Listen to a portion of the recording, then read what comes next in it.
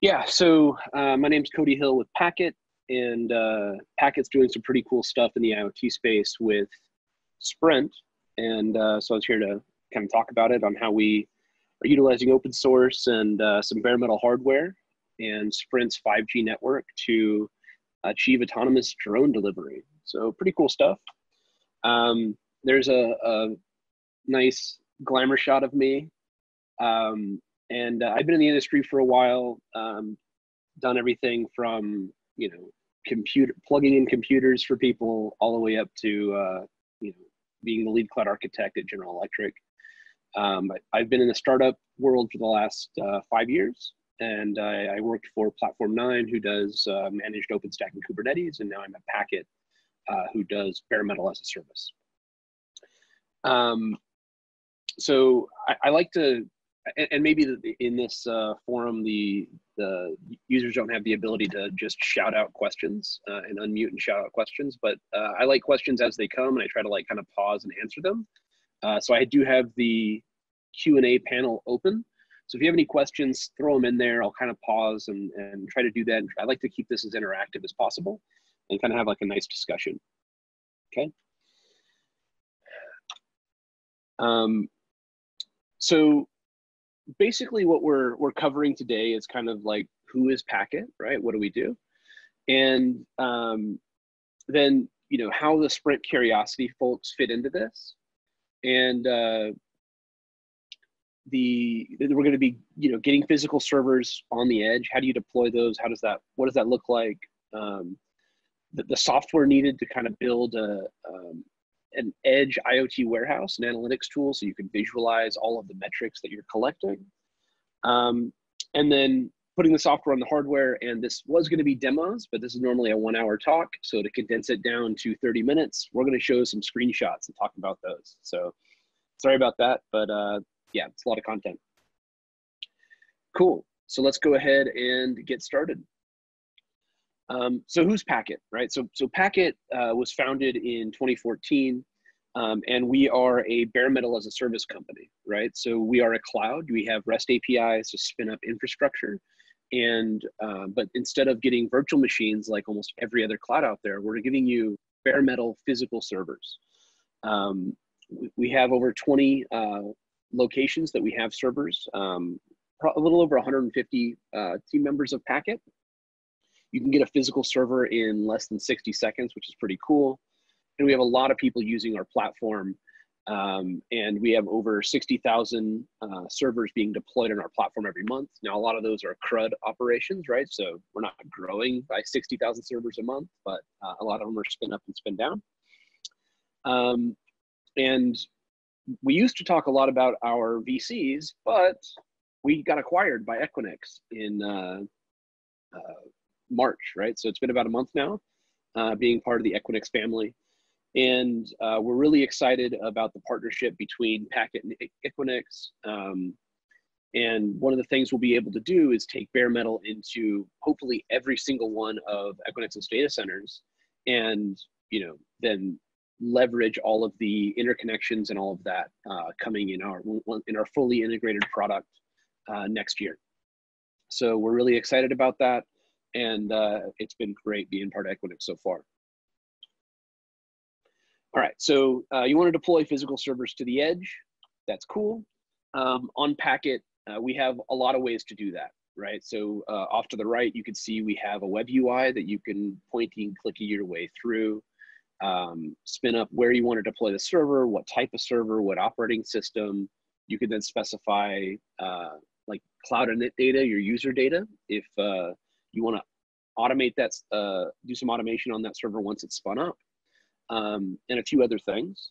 That's that's cool, but you know we're trying to do DevOpsy things and and you know infrastructure as code. So we also have a, a, pure REST API that uh, that you can utilize. You, this this is a valid curl call other than the auth token. Get your own auth token, um, and you can spin up uh, spin up a server with as little as uh, those few parameters, um, or you could utilize our Terraform or Ansible uh, plugins, um, as well as if you just want to write some code, we have Golang and Python libraries as well, right? So a lot of different ways to spin up a server on Packet Um, and you know, our goal is to get infrastructure to developers. So uh, that's why we have all of these integrations. So how is Sprint involved here, right? So um, basically, uh, Sprint decided they're going to build this IoT network, right? So they're going to have the the fastest 5G network for IoT devices on the planet, and they really with 5G you have to rethink completely the way that you do cellular networks, right? They're not doing them uh, with custom ASICs and custom hardware and all of that. Everything's down to commodity hardware and software, right? Um, so that that allows Sprint to be able to deploy on commodity hardware that Packet uses, and they realize that their core competency isn't going into markets and opening data centers and racking and stacking servers and figuring out power and cooling and all of the goofy stuff that uh, you have to do if you want to go open a new location uh, somewhere on the edge. And that's what packet's really good at right? That's that's what we do is uh, we provide infrastructure in a bunch of different geographic locations. So this is a great partnership where they said hey look we're going to put our finger on the map anywhere in the us and in less than 90 days i want to be able to hit your api and get a server in that location right? Um, and you know they they are extremely pleased that we're able to do that in less than 90 days. For us we're like man we could do that in like 60 days. So great 90 days is perfect right? So um, a really good partnership where they could focus on their core competency which is building a world-class iot network. And we can focus on our core competency which is delivering bare metal servers to the masses right? So, so that's what we're doing here with sprint. And in order to uh, make this thing work, um, on top of Packet, you can deploy any type of software stack that you want, right? So you could deploy a VMware hypervisor because we are bare metal or OpenStack uh, hypervisors um, because it's a bare metal server, so you can do that. Um, you can deploy Kubernetes um, on our servers, and we have uh, a cloud control manager, and we have uh, a CSI driver and uh, Node Autoscaler plugins, right? So we don't build our own Kubernetes distribution. Uh, we're not offering a managed Kubernetes service, um, but we have a lot of partners that do, and so we built all of the the plugins and tools for Kubernetes to work really well um, for those partners. And then you can stack on top of that uh, low level low level infrastructure any combination of applications you want, right? So for this drone delivery project, uh, we chose um, four, uh, you know, the, these four solutions. Um, we uh, built it on top of Kubernetes. Our persistent database layer is Postgres.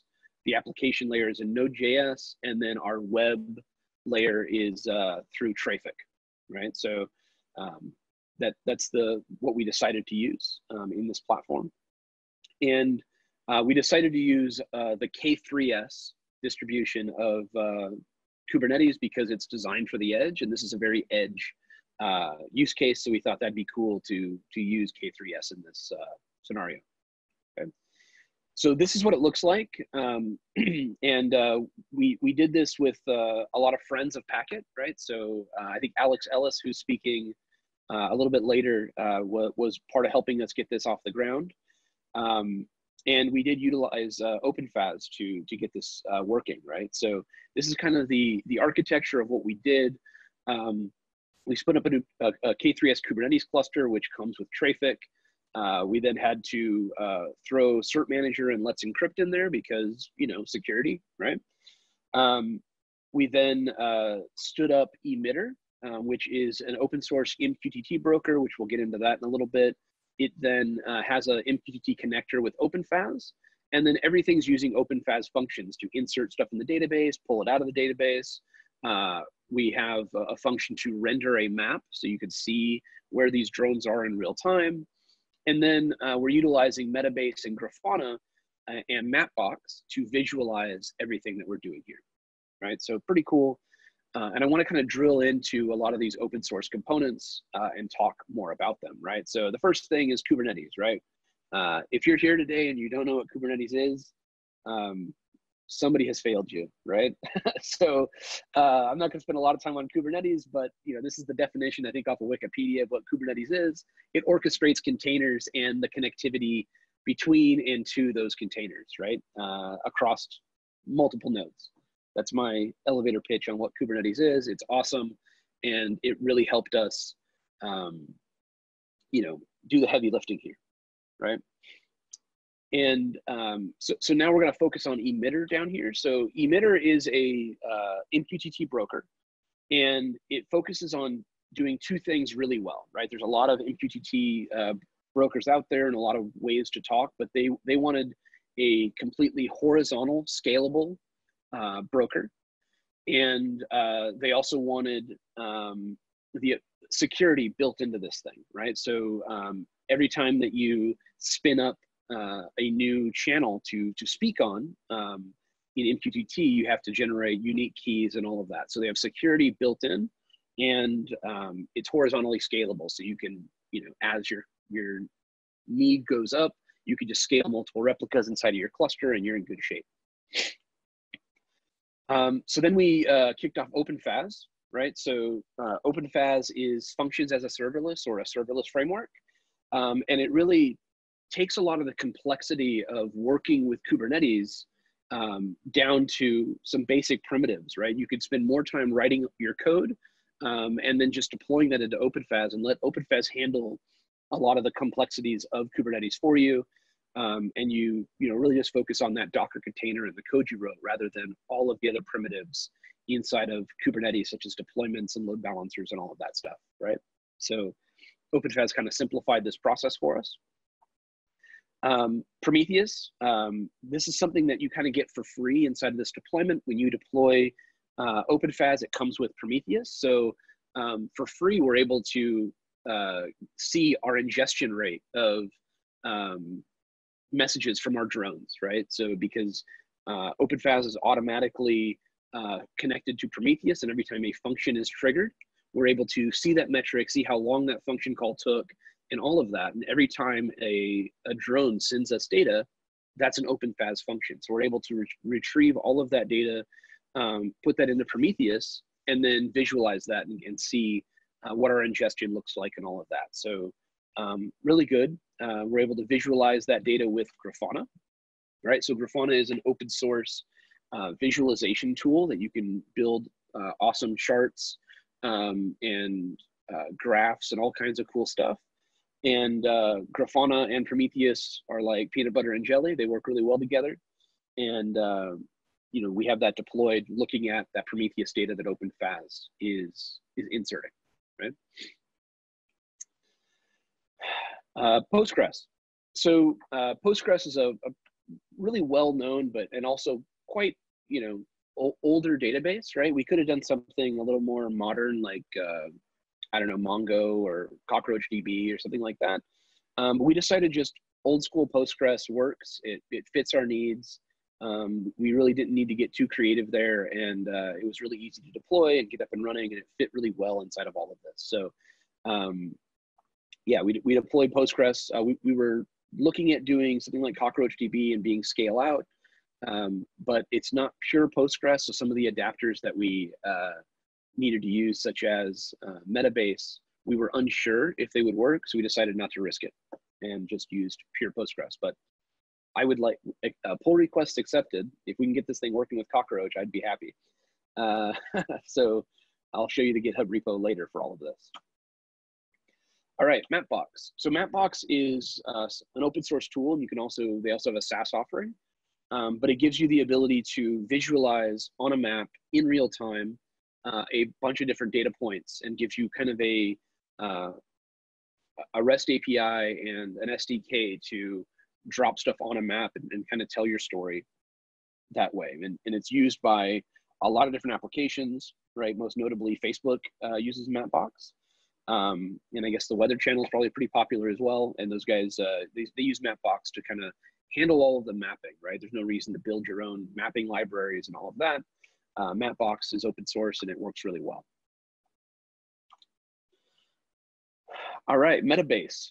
So Metabase is really cool, right? So it's a, a BI tool, business intelligence, um, and it does a lot of work for you.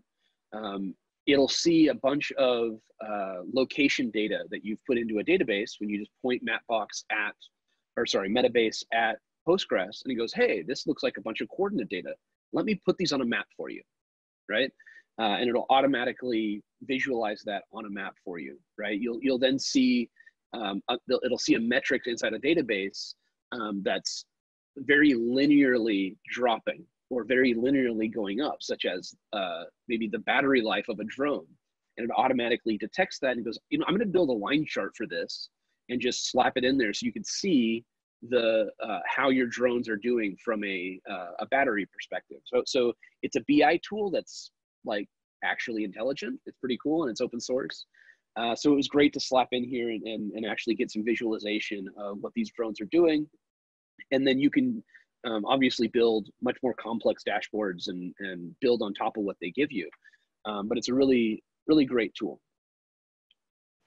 Um, so now we're going to jump into the screenshots of this. I normally have a live demo uh, of deploying this thing from the ground up and then uh, kicking off the drones. And you can kind of see the drones swarm over Las Vegas. Um, and this is uh, what the code looks like on the left. We have a GitHub repo. Um, it's uh, github.com slash packet labs slash IoT. Um, there'll be a link later on in the slides um, for that. Um, and there's a K8s directory there, which basically has a Terraform script that will deploy this whole thing end to end for you. It'll deploy Kubernetes, um, all of your functions, emitter, Mapbox, the whole ball of wax, right? Um, takes about 10 minutes to deploy. And uh, then you have your environment up and running. And, and the, when, it, when it kicks off off to the right, uh, that screenshot is what you see um, when it's complete, right? It's, it's built, um, it's, it's four things and, and life is, is happy. Okay. Um, once that's done, you have a server inside a packet. This, this is a, a big screenshot of the packet UI. Um, so you have a public IP address, you have IPv6 addresses. Um, all of this can run on our T1 small system, which is uh, about seven cents an hour, right? So it's a it's a smaller um, smaller system, and uh, this entire stack runs pretty well on it. Uh, eight gigs of RAM, quad core Intel Atom processor. Um, so you can go and kick this guy off, and uh, you know let it run for quite a while without breaking the bank. And this is what a live run looks like of this application, right? So um, as you can see right here in the kind of top right here, we have a hangar. And that's where all of these drones are, uh, you know, originate from, okay? And then off to the left, we have a warehouse in Northwest Las Vegas and uh, a warehouse in Northeast Las Vegas. So when we kick off these drones, what they're going to do is these drones are going to go drop off a payload at these warehouses. Um, and uh, this is a bidirectional communication channel that we have from the, the Node.js controller that we built and these drones. So uh, the drones are, are reporting back temperature, battery, uh, latitude and longitude um, of their location and then where they're going. And uh, the controller is sending back to those drones, you know, stop. You might, you're about to run into another drone right? Change your altitude up or down. Um, there's also some other things that these drones are sending back, such as wind, right? So if, if you get a really windy area, uh, you want to have your drones avoid that windy area. You also might want your, your drones to avoid no-fly zones, right? You don't want them flying over airports. So this controller, uh, the, the only thing that we send to these drones is go drop off a package here, right? And then we're utilizing the Sprint low latency network um, that as these drones are flying 50 miles an hour, we're telling them, hey, uh, don't collide with this other drone. I want you to pause, uh, then go up, you know, 20 feet and then resume your destination. Or I want you to pause. I want you to reroute, you know, 300 yards to the west and then resume your uh, your path to your destination. Right. So um, it's a bi-directional communication here and you can see, you know, kind of live, you know, this drone has 100% battery life. Um, we can click on that on the, on the map. This is Mapbox that we're looking at. And we can tell it to return to hangar for whatever reason. Maybe this thing's uh, in the middle of its, its trip and we notice its temperature is super high. We're like, okay, that's not normal, right? It's running at, you know, 80 degrees Celsius or something. This thing, parts are gonna start melting off of it. Uh, let's return this thing to the hangar and see if we can get it fixed, right? Uh, we can close an entire warehouse up at the top left. Um, so if we click, you know, close the northeast warehouse, all of the drones from the northeast warehouse will uh, head back to the hangar, right? So very bi-directional communication we have here. Um, this is a, a screenshot of, of the controller logs. Um, so you can see that uh, actually what's happening here, like uh, drone six is flying in a windy area, right? So we're gonna pause drone six, um, and then we're going to, so it sends a pause command, then we're gonna change its altitude, right? So we're gonna set its altitude to 50, um, uh, 50 meters, and then we're gonna tell it to resume, right? So, uh, and then we're gonna, you know, it, we're gonna read that data from the drone again, you know, it's, uh, location has changed a little bit, its altitude has changed. We also want to adjust it again. So we're talking to these drones and constantly pausing them, setting uh, their altitude, setting their destination, and doing all of that. So this thing, uh, when you run this live, uh, scrolls so fast you can't make out one word. Uh, so this is just kind of a, a, still image on what it's doing just with drone six alone. You can see it does quite a bit of back and forth and some minor adjustments uh, to that drone. so that's about it. Uh, that, that's my, my demo that I have so far. So if you want to try this out yourself, I, I hear Packet is sponsoring $25 in cloud credits if you use their, uh, the promo code that they gave you. Uh, I'm going to quadruple that uh, because you watched my talk um, using the Curiosity code 100, uh, Curiosity 100 as the promo code. Um, you can get $100 in free cloud credits um, go to baremetal, baremet.al slash IoT. That'll take you to this GitHub repo um, where you can actually kick this off and try all of this stuff yourself. Um, and that's about what I had for today. So it looks like I got done a little bit early. Uh, we have some time for um, for some questions. So any any questions you guys want to throw into the Q and A, I'd be happy to uh, happy to answer. All right. Well, thank you very much, Cody. While we wait for questions from the uh, from the audience, uh, I had a couple quick questions. Um, so you mentioned that you use K3s as your Kubernetes backend. Yeah. Um, I've spent quite a lot of time playing with K3s. Um, we know it's five less than K8s. Right. Um, so it, it it's not full featured. Um, and I was wondering if you encountered any problems with uh, disabled admission controllers or anything that you needed and kind of had to add back into K3S or if it was sort of good to go out of the box. Yeah, it was good to go out of the box. We built this as, as a stateless application. So, you know, out of the box, the, uh, the, the, the the volumes that uh, you create are just to a, the local server, right? So, you know, if you lose that box, you lose your data. So all of the Mapbox data that you've collected and all of that. Um, so that was one thing. We could have added a, uh, the, the packet CSI driver to the system to actually deploy those to persistent volumes. But uh, we really wanted this to be uh, deployable by a single user on a single node uh, to kind of show the power of what you can do with the Curiosity network. So um, everything kind of worked out of the box. Uh, was good enough. It, it did everything we needed. Um, in other projects, I've replaced Traefik with Nginx load balancer. Um, but no, this thing worked pretty well. We, we almost replaced uh, the runtime with Docker uh, instead of using the uh, containerd runtime of K3S, but we were able to tweak a couple things and make it work with containerd. Um, so yeah, it, it, actually worked pretty well for us. And, and we built this with uh, b- before K3S went to 1.0. Uh, and so it's pretty early on. Now K3S is, uh, I think, on their third revision. They changed the uh, the versioning. Now they're doing like Kubernetes versioning numbers. But um, no, it seemed to work pretty well. Cool. So speaking of versions, how are you uh, keeping everything up to date uh, it, through new K3S versions? Yeah, so we pinned the version in the repo to deploy only uh, K3S, I think we're still deploying 1.0 uh, in the repo. So uh, I should probably go through and update this to everything. Um, we're utilizing uh, part of um, uh, k3sup, uh, Alex Ellis's, which I think he changed to arkade.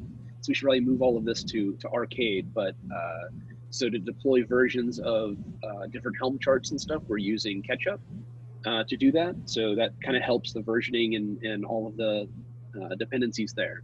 So we're basically pinning versions to make sure this thing works. Cool. Awesome. And have you found any uh, interesting backend failures as a result of, um, of, of using K3S?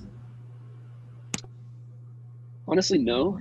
Uh, it, it seemed to work pretty easy. Like we, we don't have an extremely complex application here, right? Like everything we're deploying is uh, off the Helm charts, right? So uh, Prometheus deploys pretty easy. Um, OpenFaaS deploys very easy, and everything's kind of built off of, or sorry, I meant Postgres. Uh, and then everything's kind of built off of Postgres and OpenFaaS. Um, you know, so everything just worked. It, it was pretty easy. Uh, we got pretty high ingestion rates uh, using, uh, you know, coming through emitter. So emitter is not going through uh, Traefik uh, because Traefik doesn't do TCP load balancing, right? Or TCP ingress. It only does, uh, maybe it does now. I didn't used to. Uh, so anyway, we're doing a node port with emitter. So everything's going directly through that. It works fine. Cool. Um, speaking of, of networking backend, um, so I know 5G is uh, higher power, but somewhat shorter range than 3G, 4G. Um, mm-hmm. Have you encountered issues with drone connectivity, and how do you handle that if a drone goes offline but is still in the air?